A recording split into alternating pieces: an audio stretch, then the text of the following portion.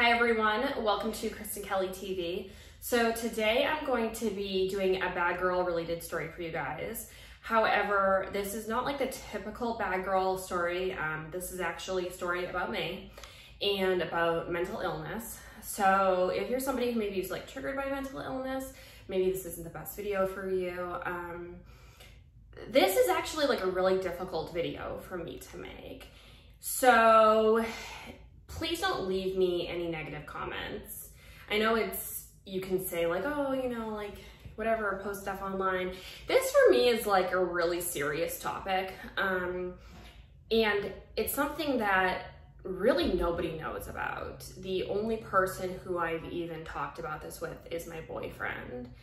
And that makes it even stranger that I'm like making a YouTube video for everyone to see about this.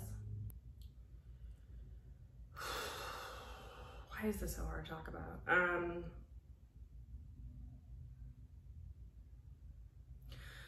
all right, so I'm just gonna start from the beginning. Um, when I was in the bad girl's house, you know, it's like you're under a lot of pressure. There's like people around you everywhere. There's cameras in your face.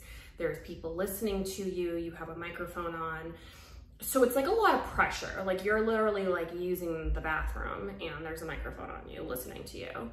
And you would be really doing anything. And there's always somebody like listening to you and like kind of misconstruing like what you say. Like I remember we went when we were at um in Jamaica, I was like talking. There was like this guy who had like broken his leg or something. Um, I like him and Brandy had gotten in a fight at some point.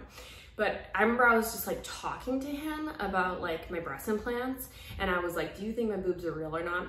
And then later, one of the producers, when they were like interviewing me, you know, for the little like little interview clips they put in, he was like, "Oh, so you were talking to that guy that you liked?" And I was like, "What guy did I like?" And he was like, "Oh yeah, like you were talking about your," and the way that he made it seem was that I was all like, "Oh my god, my breast implants," and like all like sexual with this guy when it wasn't like that at all. It was very like, like uh, just like a friendly like banter. Um, it wasn't like a sexual way. So it was just like things like that, you know. So you're like constantly misconstrued and things that you say. This is like so hard for me to talk about like things are like really misconstrued and like um, things that you say are taken out of context. And there's also like a lot of pressure on you. Like, um, you feel like you have to like look good. You feel like you have to wear like a new outfit. You feel like, you know, everybody's like talking about you or to you. And it's like, especially in the circumstance where that show is like drama based, you know, and you know that. So you know, like people are thinking, like you know that like when a camera's following somebody, they're probably like talking about somebody, you know. So you're like constantly in this kind of like weird atmosphere. Does that make sense? Like you're never just comfortable. Like you're never just like relaxed. You're like always kind of on edge. You're kind of like always like you're kind of always like thinking like, um, you know, what's the next thing that's going to happen? Am, am I getting enough TV time? Am I, am I going to come out looking bad? Am I come out, am I going to come out, you know, looking like a whore? Am I going to come out looking, embarrassing my family? Am I going to come out, you know, um, doing this wrong and doing that wrong? And, you know, it's like, I remember at one point I was coming back from a hotel and one of the girls that was like on the crew was talking to me and I was like, yeah, you know, like I just get scared. Like, what if I look a certain way? And she's like, oh, you don't have to worry about looking a certain way. She's like, now Leah, she looks like awful, you know, with having threesomes and blah, blah, blah. And like, and then later I was talking to Leah and I like told her what the girl said and Leah like burst into tears. And I was like, I just think it's important for me to tell you what like somebody from the outside is telling me, you know? And it was like you don't know how you're being perceived and even the way you're being perceived might not be the way that they edit you. Like you know i talked about how brandy is like really funny or was really really funny but the only times they really showed brandy was like you know when she was like acting crazy and they wanted her to like look a certain way you know? So you kind of always have that like in the back of your mind, you know, and at the same time, you're like, am I thin enough? Am I, do I look good enough? Am I, you know, is my skin look good enough? Is my hair look good enough? You're like always kind of, you're just being watched like 24 7. And shows like the Kardashians or the Real Housewives or shows where even like 90 Day Fiance stuff where the people are in their own lives and then the TV crew comes in. That is one way of having a reality show because you're in your own home. You are with your own friends, your own family, you have your own hairdresser, you have your own nail tech, you have your own eyelash tech, you you know where you live, you have your own car, you you know what I mean, and they just come, they film for a few hours and they leave. When you're living somewhere, it's so different because it's like you're plucked out of your environment and you're living in a a house that's not yours. You're eating food from a grocery store that you don't normally go to. You know, you're having your hair done by different people. Your your friends aren't here. Your family's not here. Um, you don't have those like connections that you normally have. And even when you want to make a phone call, you're being listened to. So even something as small as making a phone call just to talk to somebody can be, you know, cut up and put into a TV show. So it's it mentally is like really draining and I've always had mental problems. Um, when I was really young, I was abused and I have post traumatic stress from that. I had post traumatic stress. I mean, I will always have it, but it was it was extremely bad from the age of I would say like 15 until I was 30, 31.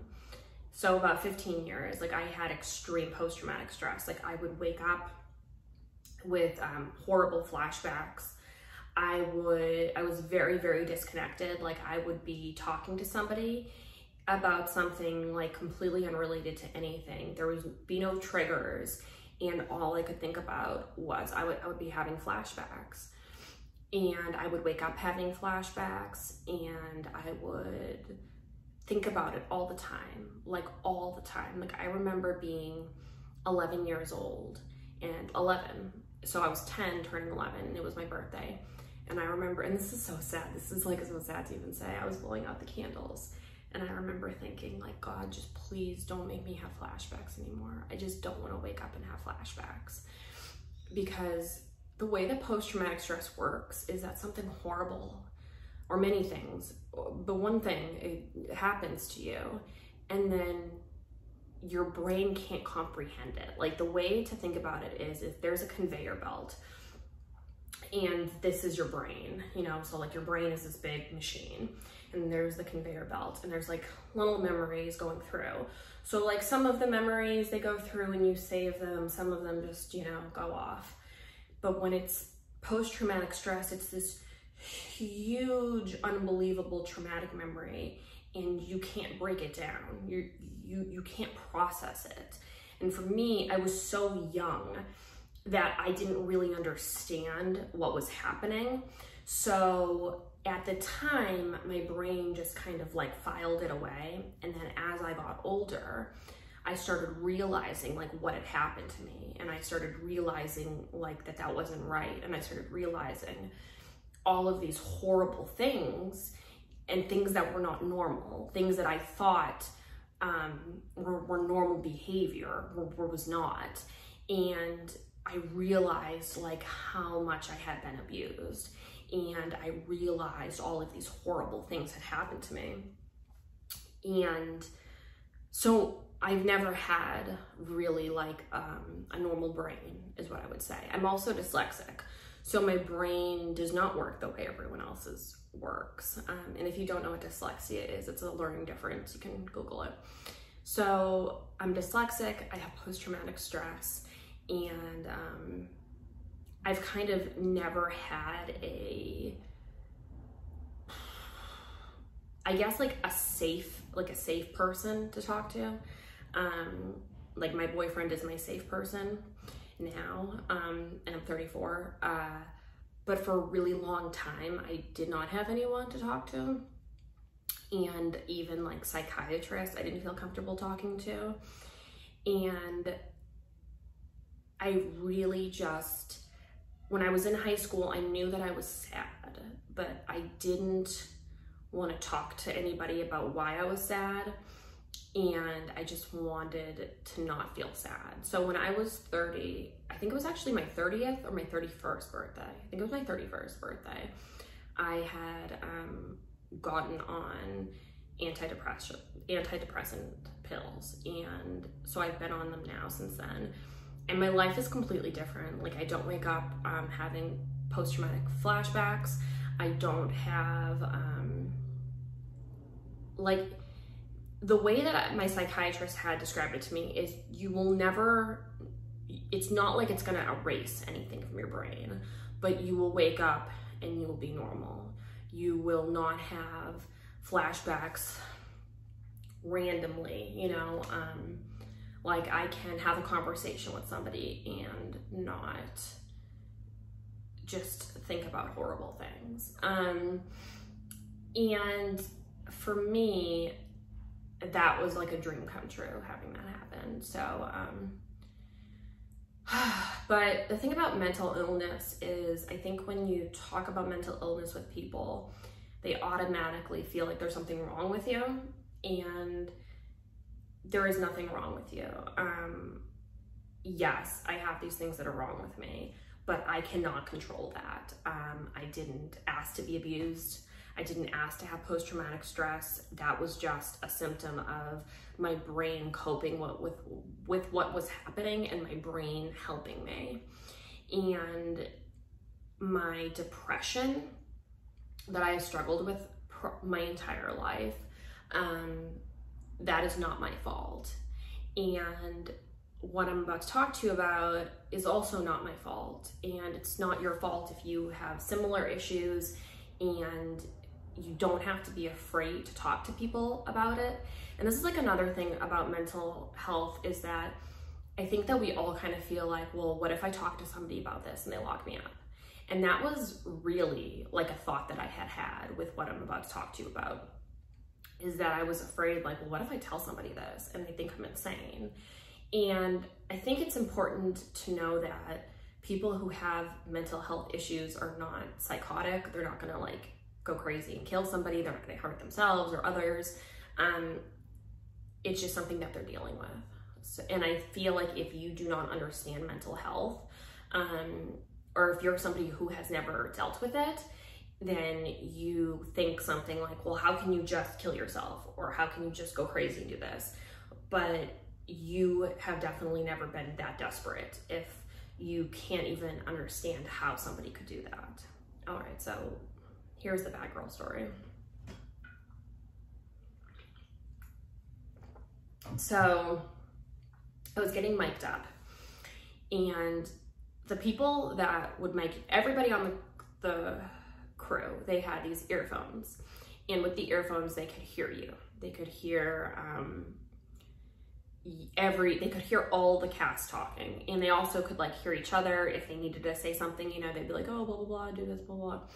Um, like, okay, camera, whatever. But you could hear the cast.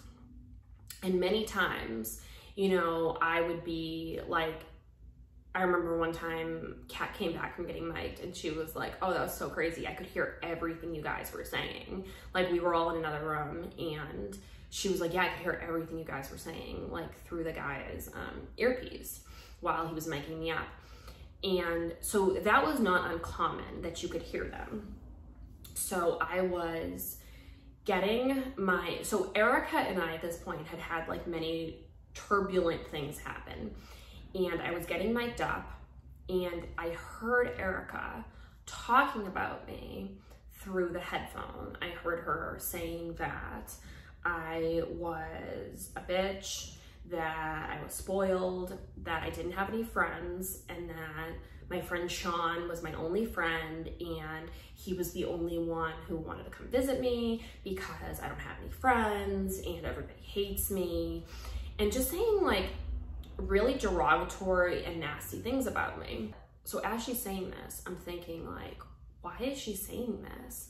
I thought we were fine, like we've been really friendly, like we had a really good chat last night, like we have had no issues. Like I can't believe she's saying this.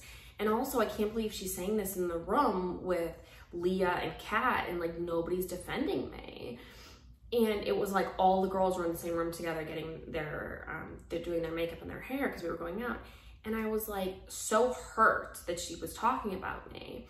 So I started walking away from the guy and this other person that worked like on the crew was like, Kristen, are you okay? And I was like, yeah, you know, it's just like, I just heard Erica talking about me and I'm so bothered by that because I thought that we were, you know, okay now. And it's like, I just feel like you never know these girls, you know, it's like you talk to them and you're your friends and you have like a good conversation and you think everybody's your friend. And then the next day, you know, you hear them talking bad about you. And he was like, oh, you know, it's okay. Like that's life and blah, blah, blah. So like I walked away from him and I go into the room and it's like all the girls are in this room. And I'm like, Erica, I just heard you talking about me. Like, I thought we were friends. Why are you saying all this stuff about me? About like how my only friend is my friend Sean and calling me a bitch and like saying all this bad stuff about me. And everyone in the room like literally like turns and like looks at me and they're like, what? And I was like, I just heard you talking about me on on through like the guy's um, headphone and everybody was like, nobody was talking about you. We haven't even been talking. We literally have all just been sitting here in silence, like doing our makeup. And I was like, what? And then Kat was like, Kat was like, bitch, I have been sitting here and nobody was talking about you. And I was like, so at first I, I thought they were lying. And then they really, all of them were like, nobody was talking about you. And I and when Kat said that, I was like, and Kat was even like, girl, what are you talking about? Like, have you gone crazy? Like, you know? And I was like, oh wow, like they must have been listening to like old audio. And I heard that through the guy's headphone. But later, like literally a long time later, maybe like six years later, I realized that nobody was talking about me and that I had like a psychotic episode. And I really thought that I heard that conversation but that conversation never happened. And what's the scariest part about that is that it feels so real. Like when that happened, I would have put my life on that that had happened. I would have put my life on the fact that Erica had said that, that there were other people in the room. I heard what she was saying. Like I heard it. It was so real that it it gives me a better understanding of somebody who is, you know, schizophrenic and who hears things all the time or who sees things all the time that are not real because I really thought that that happened. And when it happened, it's it was so weird to me that I was like, oh, it must have been old audio. I really did not even in my mind comprehend that that conversation did not happen and that that was um, completely in my brain. I really, there was no way that that, that happened to me. So, um, years later, so that happened and I believe that that was the first and like only time that that happened where I heard people talking about me but I don't know because I really can't tell you because the way that it felt to me is it felt so real. It felt so real that it's terrifying because you're like, well, what is real and what is not real kind of thing. So that happened.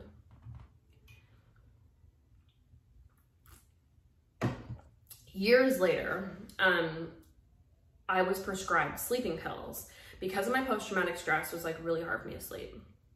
So I prescribed sleeping pills. And, um, oh my, god, what were the name of the sleeping pills? Uh, it was the same sleeping pills that Rosie O'Donnell took and then like tweeted a bunch of racist stuff and said that she did it because of that. Um, oh, I forget the name, but they were like very, very common. It's like still probably really common. But I was completely addicted to sleeping pills. Like if I did not take sleeping pills, I could not sleep. I'm not like that anymore. Thank God. Actually, I stopped taking them because I got pregnant and have not taken them ever again. And so happy.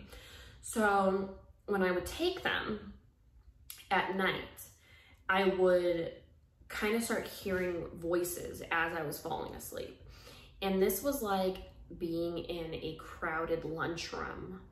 But so you could not hear any specific thing that anyone was saying, but you could hear voices. Like you could hear like kind of like muffled talking or whatever. And I had actually Googled it and it said that that was actually like um, a symptom of like taking this particular sleeping medication and I guess medications in general, sometimes with sleeping medications, that as you're falling asleep, you kind of like hear sounds and stuff, like almost like people talking, but not like specific things that they're saying. So it really did not like freak me out. And then one night I took it and I was like laying in bed, and this was like my ex boyfriend from a long time ago. And I said to him, Do you hear people talking? And he was like, What? And I was like, I like hear people talking. And then I fell asleep. And he later the next day told me, he was like, Do you remember talking to me last night when you were falling asleep? And I was like, No. And he's like, You said to me that you heard people talking when you were falling asleep. And I was like, oh yeah. So I actually Googled that and it said that that's like, you know, can be from the medication and blah, blah, blah. And he's like, that is not normal. And he's like, you like the he was so freaked out by that that it kind of made me be like oh maybe i should have cared more when i like had originally had that symptom and i really was like oh whatever normal normal um also i have to say that i'm like very psychic and i've always been like that and as i got older some of the things that i realized was am i as psychic as i believe i am or do i have schizophrenia and so I went to three different doctors thinking that I was schizophrenic, and all of them said I was not. But you can have like episodes, you know, like something could happen to you. Um, and it doesn't mean that you're schizophrenic. It just means that that happened, you know, like, um, like the incident with hearing Erica talk, okay? So another time, this is so strange. So, you know who Chris Pratt is? He's an actor. So I used to go to this gym that like a lot, when I lived in LA, that like a lot of celebrities and stuff went to. And I was listening to my headphones and I was coming out of the elevator and I just screamed, shut up. Like it was like, I can't a 100% pinpoint exactly what I was saying it to. But it was like sounds in my head or like voices in my head. It was something. It was like I was listening to my music and I was thinking about something and it was almost like I, I wasn't yelling at a person to shut up, but I was like telling myself to shut up but the way that I did it, I really thought that it was like internal. I did not even realize that I was like screaming it out loud, but I literally like screamed, shut up. And Chris Pratt heard me and turned and looked at me and had this like horrified, like scared face. And I was just like, and walked off. And I literally was so embarrassed that I got in the car and I sat there and I was like, did that really just happen? I was like, was that Chris Pratt? And then I was like, did I just scream, shut up? Like, if he had not looked at me and gave me that look, I honestly do not even know if I would have been able to like comprehend that I did that out loud because it was so weird. It was like so weird. It was just, it was so strange that I don't even know why I did it. It was like, it was so weird. It was just so, so weird. So, um, I can't believe I'm telling you guys the stories. It's just so nuts. Okay, so after that happened, like long time after. I got pregnant. So when I got pregnant, I stopped taking, um, I continued taking my um, depression medication. but I, I, but I, so I continued taking my depression medication because my doctor told me to, but I didn't, but I did stop taking my um, sleeping medication. And my pregnancy in total was like normal. Everything was totally normal with the pregnancy.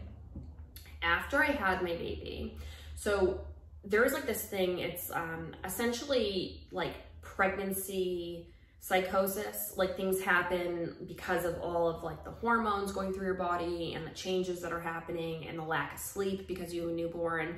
So you can, um, you can hear things. It's like pregnancy brings on a lot of different psych, psych like psychologists in general, you know, agree that pregnancy and having a baby brings up a lot of things. Like you can have um, pregnancy psychosis and all this stuff. So after I had my baby, um, this is just so, so strange. So Chris and I um, were at the hospital, you know, we did everything for our baby, you know, like for the birth certificate. And they have me do it and they have him do it. And then after, so we sign it, you know, she has his last name and stuff because we are at some point going to get married. And then after we had the baby, like Chris and I were fighting and fighting and fighting. And this is something like if you have a baby, I'm sure you can relate to. And if you don't have a baby, this is gonna happen to you. You literally lose your mind like right after you have a baby because they're so, first of all, you're so tired. Like you don't sleep. You have to feed your baby every three hours. Like literally every three hours you have to feed your child. So you never fully sleep. You never get like a good rested sleep and we were just fighting about little things. So um, when I had the baby, they had to um, cut like from my vagina to my booty hole. Had to cut. And so I had stitches. And like after we were out of the hospital, I had to sit on a donut. Like I could not, I could not sit unless I was sitting on this donut. So we walked, so we had walked to the car to get in the car and I forgot the donut. And I was like, babe, can you go back and get the donut? And he was like, I'm not going back and getting the donut. And I'm like, I literally just had a baby for you. My, I'm like, I have stitches and I can't walk. Can you go get the donut?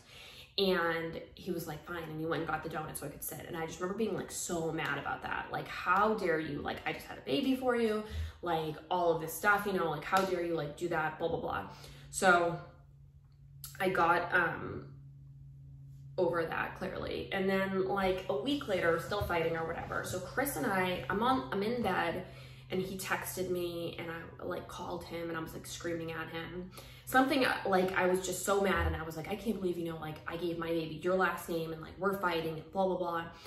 And then we hang up the phone and my phone rings and I answer it. And it's this lady from the hospital. And she's like, hi, Kristen, this is so-and-so from, you know, the hospital, blah, blah, blah.